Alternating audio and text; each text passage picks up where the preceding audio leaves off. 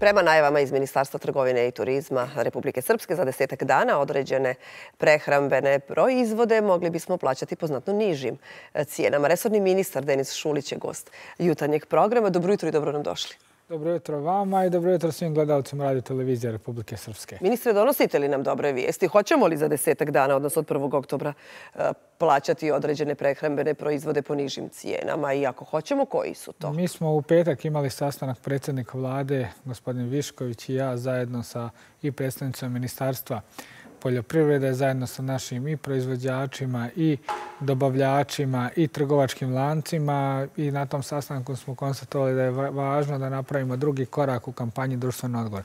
Na početku bih rekao da vlada Republike Srpske još više od godinu dana ograničila marže na osnovne životne namirnice. Pa smo krajem godine imali i pakete, jednokratne pakete pomoći socijalno najugroženim stanovnicima u Republike Srpskoj. U junu mjesecu smo pokrenuli kampanju društveno odgovorno koja je imala jako dobar efekat i prema stanovništvu. Ja se želim da se zahvalim svim trgovačkim lancima koji su bili dio e, kampanje od početka u prvom koraku. Drago mi je da u drugom koraku imamo proširen e, dio naše javnosti, dio konzumenata, odnosno ova kampanja u drugom koraku će okupiti i proizvođače, i dobavljače, i trgovačke lance i to je nešto o čemu smo pričali. Predsjednik Republike Srpske, gospodin Milorad Dodik i ja, da na neki način napravimo dodatan iskorak i tim dodatnim iskorakom obezbijedimo još niže cijene e, roba široke potrošnje, prvenstveno koji se koriste u svakodnevnoj e, upotrebi kod građana Republike Srpske i da na taj način pomognemo našem stanovništvu da lakše prebrode inflatorne udare koji smo svjesli da nismo krivi mi u Republike Srpskoj, nego da su to inflatorni udari koji dolaze sa vana i zbog nekih vanjskih uticaja na globalnu ekonomiju. Eh, već šest, sedam eh, eh, ljudi koji su bili na samom sastanku, eh, eh, prvenstveno mesoprerađivača, su se javili da bi dio, odnosno jedan od svojih proizvoda koji oni proizvode, stavili po 0% marže do kraja godine, što bi značilo da bi market plaćao samo ono koliko košta taj proizvod u u proizvodnji, a taj market bi se onda odrekao i malo prodajne cijene, tako da možemo očekivati u nekom narodnom periodu od 15 do 30 nekih e, proizvoda roba široke potrošnje koji će se moći naći na rafama društveno odgovornih marketa po značajno nižim cijenama. Pored toga, nastavljamo kampanju društveno odgovorno gdje se marketi dijelom odreću marže marži na maloprodajne cijene roba široke potrošnje, a također smo u pregovorima da e, i ostali proizvođači, možda i uvoznici, se odreknu dijela marže, ne možda u potpunosti, ali dijela marže na neke svoje proizvode, tako da možemo očekivati još veći broj proizvoda koji će biti e, značajno sniženi. Možda ne kao ovih 15 do 30 koji će biti u potpunosti bez marže, ali možemo očekivati još, siguran sam, i više od tog broja proizvoda koji će biti na neki način e, sniženi. Pored mesoprerađivača, to su bili i proizvođači konzerviranih, e, konzerviranog povrća, mlijeka i mliječnih proizvoda. Tako da, prvenstveno smo fokusirali se na one, na one stvari koji su nam jako bitni. Evo, pokušavamo da pregovaramo i sa pekarama, da vidimo način kako možemo uticati i na cijene e, hljeba, odnosno e, pekarskih proizvoda, koji su, ajmo reći, e, sastavni dio kupovine većine građana. Razmišljamo i na neki način kako da možda u nekom narodnom trećem ili čatom koraku ove kampanje kreiramo neke proizvode koji će biti e, zaštićeni, koji će biti sastavni dio socijalne korpe. Hoće li oni biti označeni? Je li to ne da, da, bude vidljiva oznaka? Da, cilj e, kampanje je da na ulazu svaki tržni centar imamo e, plakat koji će označavati da je taj tržni centar društveno odgovoran. E, znam da marketi imaju mnogo svojih poslovnih jedinica da možda fizički nekada ne mogu stići, ali mi ćemo ispred ministarstva voblerima eh, koje ćemo distribuisati prema njima zamoliti ih i tražiti da oni ipak označe te proizvode koji su društveno, društveno eh, odgovorni na taj način da usmjerimo stanovništvo. Mi radimo, pripremamo i marketinšku kampanju. Možemo uskoro očekivati i taj dio i segment tog rada da približimo kampanju e, građanima Republike Srpske. Ovo je neka kampanja za koje stoji i predsjednik Milorad Dodik i na čiju inicijativu smo i prvi korak napravili i u razgovoru koji sam ja imao sa njim i u junu mjesecu i sada pravili smo neke analize, e, shvatili smo da smo napravili dodatan iskorak, ali da nismo dovoljni, dovoljno zadovoljni sa time što smo uradili u prvom dijelu i mislimo da možemo napraviti dodatan iskorak. I evo, ja se zahvaljujem svima koji su se odazvali na sastanak u petak. E, ljudi unutar Ministarstva trgovine i turizma već komuniciraju. Poslali smo, zahvaljujem se i Ministarstvu poljoprivrede koje je kooperativno, kod kojih se ipak nalaze svi ti proizvođači. Oni su nam ustupili podatke, mi smo komunicirali sa njima. Evo, očekujem da pored ovih 5, 6, 7 koji se javili na samom sastanku, da ćemo imati još sigurno e, proizvođača koji će se priključiti e, našoj kampanji. E, imao sam sastanak i sa udruženjem za zaštitu potrošača. Sa njima sam razgovarao na načinu da budemo partneri, da ako vidimo neke anomalije na terenu, da upozdravimo Ministarstvo trgovine i turizma. Da, da Koji su njihovi prijedlozi? Šta oni kažu? Oni, oni su podržali ovu aktivnost uh -huh. i to mi je drago. Evo, na primjer, sa njima sam razgovarao na temu komunalnih usluga. E, I ja prihvatam taj, e, taj njihov prijedlog. Razgovarat ću sa Savezom opština i gradova. Evo, na primjer, moja gradiška ima zaštićenu cijenu od, mislim, 3 kubna metra vode e, za socijalno ugrožene. I mislim da je taj iznos vode e, potpuno besplatan za, za građane koji su socijalno ugroženi. Inicirat oni su pitali da li postoji mogućnost da i na taj način razgovaramo sa, sa gradovima i opština. Mislim da ima 13-14 gradova u Republici Srpskoj koji imaju e, taj vid neke subvencije prema građanima. Možda ne bi bilo loše da uključimo i ostale gradove i na taj način pomognemo i u ovom, u ovom koraku. U narednom periodu ću razgovarati i sa e, ljudima koji se bave e, naftom e, i naftnim derivatima. Mi imamo maržu na ograničavanje nafte i naftnih derivata, ali evo, pokušat ćemo naći i tu plodno tlo za društveno odgovorne kompanije. I ono što je bio zaključak sastanka gospodina Viškovića kao predsjednika vlade i mene i mog razgovora što sam predložio i predsjedniku Dodiku i u čemu se on u potpunosti složio je možda u narodnom periodu kada budemo kreirali određene mjere posticaja za privredu. Da imamo ipak e, e, to bodovanje, ako je neko bio društveno odgovoran ono u trenutku kad je bilo važno, da ipak Republika Srpska se na neki način oduži, oduži njemu malo više u odnosu, naravno, nećemo nikoga ostaviti sa strane, nećemo nikoga zapostaviti, ali ipak treba nagraditi one ljude koji su bili društveno odgovorni. Evo, i taj e, zaključak je bio na samom sastanku da ćemo razmišljati i razgovarati u, u, u tom smjeru. Mi očekujemo da nekada u prvoj sedmici e, novembra, mjese, oktobra mjeseca, izvinjavam se, možemo očekivati e, da se na rafama e, nađu te sniženi proizvodi. Nemojte me sad držati da li je to 1. novembar, 5. novembar, će biti oktobar ili će to biti 29. septembar. Znači, u tom nekom periodu e, do kraja prve sedmice oktobra mjeseca možemo očekivati e, proizvode. E, Bićemo da agilni u medijima obavijestit ćemo građane koji su to proizvode i u kojim marketima. Ono što isto jako važno reći, ako jedan market ne bude dio društveno odgovorne kampanje, on će proizvod koji je na 0% marže, na primjer za A market koji je dio društveno odgovorne kampanje, a market će imati 0% marže na to. Ali ako B market nije dio kampanje društveno odgovorne, e, proizvođač će njemu ispostavljati fakturu kao što mu je do sada ispostavlja fakturu sa uračunatom svojom maržom. Tako da ovi e, proizvodi, e, i to da i kažem i medijima, jer smo imali nekada u prvom dijelu kampanje da su mediji odlazili u markete koji nisu bili društveno odgovorni pa su govorili da cijene nisu niže.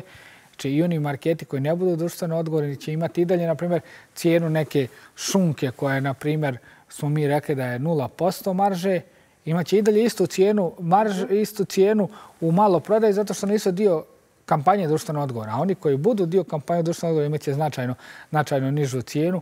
E, popravit ćemo komunikaciju sa udruženjima sa potrošača, e, njima ćemo dati e, pravovremene informacije, to je isto jedan od zaključaka sastanka bilo da damo njima pravovremene informacije prema e, broju marketa, lokacijama tih marketa i proizvodima, da i oni mogu iskontrolisati ali da i oni mogu e, adekvatno odgovoriti medijima, jer nažalost u ovom dijelu kampanje društveno odgovorno smo imali e, pritisak određenog broja medija koji je htio da se preba da se napravi da se ništa nije uradilo, da se e, pokuša napraviti određeni bunt stanovništva prema prema, prema institucijama, ali to je neka matrica koja je preuzeta ne samo na ovoj kampanji, nego e, u, postoje ti mediji koji to rade na svakom e, događaju, na svakoj prilici da pokušaju poljuljati institucije Republike Srpske.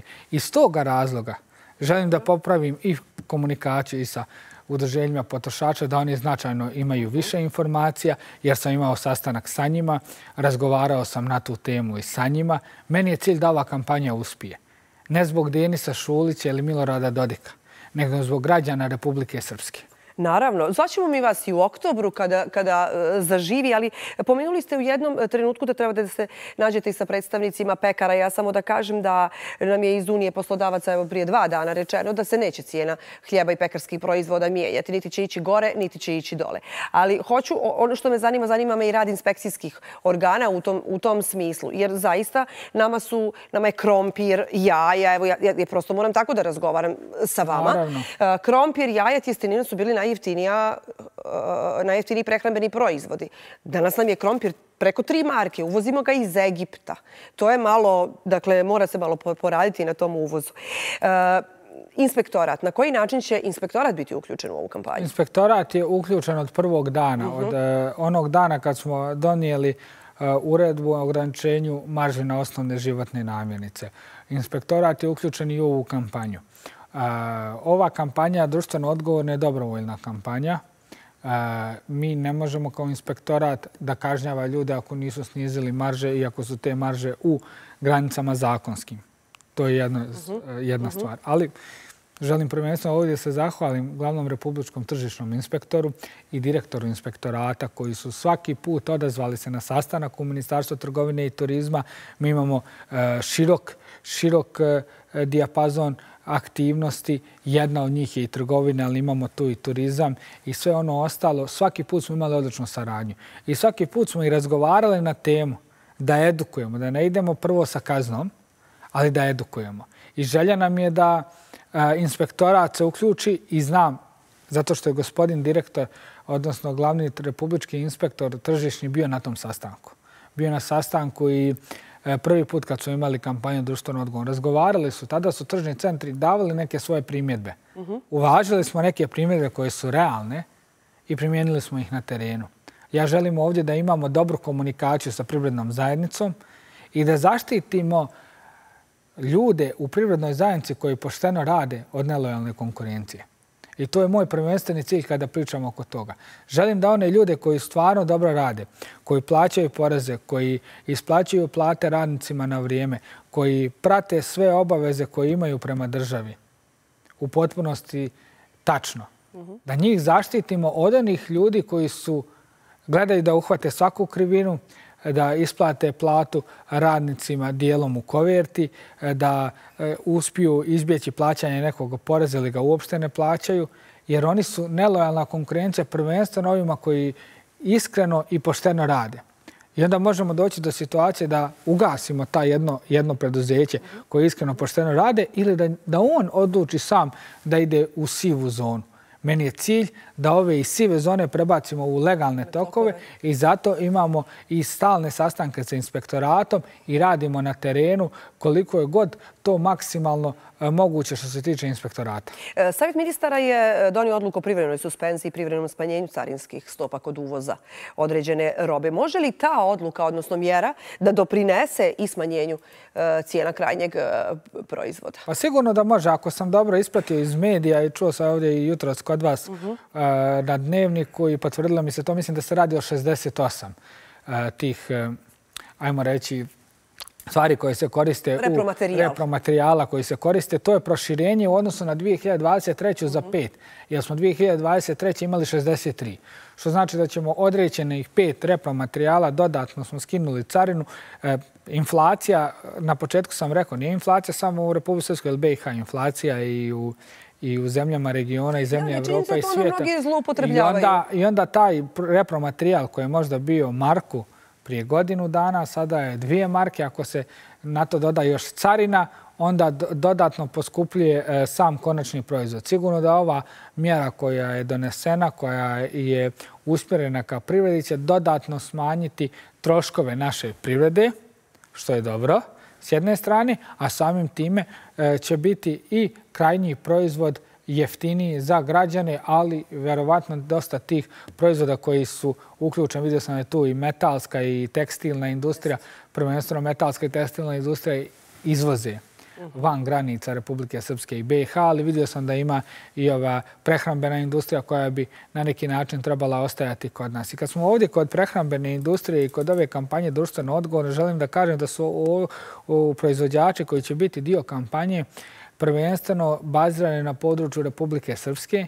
Imamo najave da će neki proizvođači iz Srbije biti dio e, same kampanje. Ja Srbiju smatram kao da je naša i proizvode iz Srbije gledam kao da su naše, ali ipak e, mhm. ono što ja želim da kažem da ova kampanja koju ćemo krenuti sada e, ćemo imati jedan zalog za budućnost. Iz prostog razloga zato što ćemo naviknuti naše stanovništvo i marketinškom kampanjom i kampanjom društveno odgovorno i promocijom tih preduzeća i firmi koji su odrekli. Na, e, nagovorit ćemo narod na taj način E, da nastave kupovati e, domaće proizvode. I onda ćemo napraviti neku kampanju koja ima široki obuhvat, a to je da naši kupuju, e, naši ljudi da kupuju naše domaće, domaće proizvode, ne proizvode iz uvoza i na taj način ćemo u budućnosti još više jačati našu privredu. Dobro, nećemo mi jutro pričati isključivo o cijenama Eh, osnovnih eh, životnih namirnica. Govorit ćemo mi o turizmu. Turistička organizacija Srpske učestvuje li tako na prvoj turističkoj berzi Istanbul Balkan eh, i predstavlja se svakako turistička ponuda Srpske. Koliko je važno ovo predstavljanje u tom dijelu Evrope? Važno je da, da Republika Srpska izlazi u Evropi i svijetu na razne sajmove. Drago mi je da turistička organizacija Republike Srpske, evo, mislim da, da, da, da u Istanbulu je jedan od većih tih tih sajmova. E, početkom godine smo bili u Beogradu i u Berlini i u Zagrebu. E, to su neki, neka destinacije koje su nama zanimljive našim, našim E, našim konzumentu turista koje, koje imamo ovdje u području Republike Srpske. Dobra konekcija sada koju imamo sa Banjelučkog aerodroma, ali dobra konekcija međunarodnog aerodroma Sarajevo sa Jahorinom i sa uh turističkim potencijalima u tom dijelu Republike Srpske daje nam za pravo da možemo izlaziti na, na, na, na veća, na veća uh, područja i privlačiti turiste iz različitih, različitih zemalja. Ono što mi je cilj je cilj je da kada se Republika Srpska predstavlja, da imamo unificiran predstavljanje i Republike Srpske i svih naših gradova, odnosno turističkih organizacija gradova i opština koje se odluče samostalno nastupati i da na taj način e, brendiramo Republiku Srpsku kao mjesto u kome će se ljudi osjećati ugodno, u kome će se ljudi osjećati e, pristupačni domaćini, jer to jesmo, da imamo odličnu gastronomsku ponudu kao što je imamo i da imamo netaknutu prirodu. To su naši aduti e, koje moramo promovisati na tim sajmovima i na taj način doći do, do što većeg broja ljudi. Mi ćemo evo početkom oktobra mjeseca a, paralelno radimo jednu veliku turističku konferenciju koja bi trebala biti u Trebinju u kojoj želimo da prvenstveno fokus stavimo na marketing i e, brendiranje turističkih destinacija sa jedne strane, a u drugom dijelu da razgovaramo o obrazovnom sistemu i načinu obrazovanja kadrova koji dolaze u gosteljske i turističke objekte u Republici Srpskoj i na taj način dodatno da nekim mjerama i nekim zaključcima pripremimo i zimsku sezonu, ali dobro se pripremimo za ljetnu sezonu koja nam e, uskoro opet slijedi.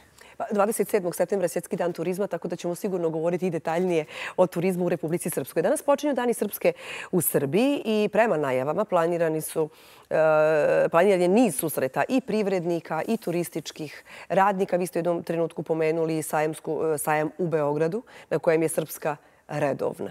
Da, sajam u Beogradu koji se organizuje, ja znaju gospodin Tešić i gospodin Radić, bi trebali već danas biti u Beogradu eh, na razgovorima i tu želim da se zahvalim i gospodinu Klokiću, ministru, i gospodinu Cicoviću koji su uzeli aktivno učešće e, da pomognu nama kao Ministarstvo trgovine i turizma da se što bolje Republika Srpska e, pozicionira e, na Beogradskom sajmu koji je nama ipak najvažniji. Bez obzira što imaju mnogo veći sajmovi, nama je Beogradski sajm u ovom trenutku najvažniji zato što najveći broj turista koji dolazi u Republiku Srpsku dolazi nam iz Srbije i e, želimo da se još bolje promovišemo. Ono što sam dobio informaciju kada sam došao za ministra da ljudi ni u turističkoj organizaciji, ni u lokalnim organizacijama, ni u ministarstvu nisu bili zadovoljni našim načinom prezentacije u Beogradu mhm. prošle godine. Razgovarao sam sa njima svima da ispravimo te naše greške. Uključili smo se na vrijeme. Predstavništvo Republike Srpske, gospodin Cicović, su nam dali maksimalnu podršku.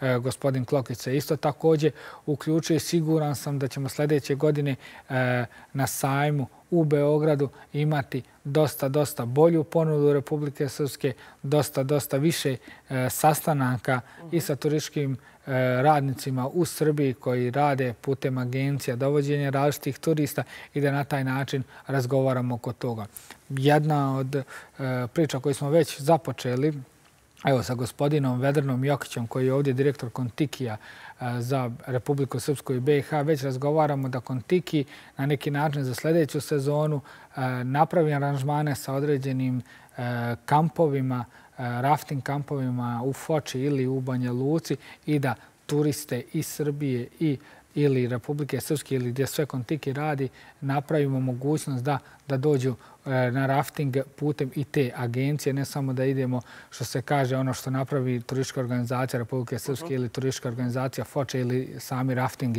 rafting centri svojim reklamama, nego da dodatno povećamo dolazak e, gostiju i iz Srbije i iz regiona u naše rafting centre koji su jedan od e, stubova E, turističke ponude Republike Srpske, ali koje dodatno moramo urediti.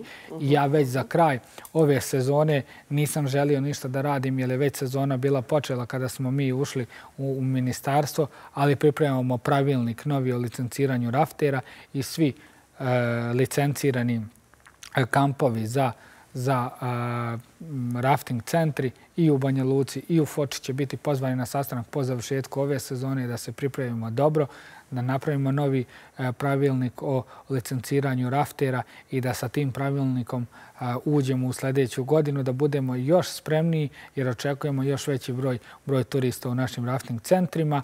Centralni informacijani sistem će nam pokazati E, dosta bolje onda podatke koliko toga imamo u našim rafting centrima, jer to očekujemo sljedeće godine da, da imamo u svojem zakonu u gostestvu kome je predviđen i centralni informacijani sistem.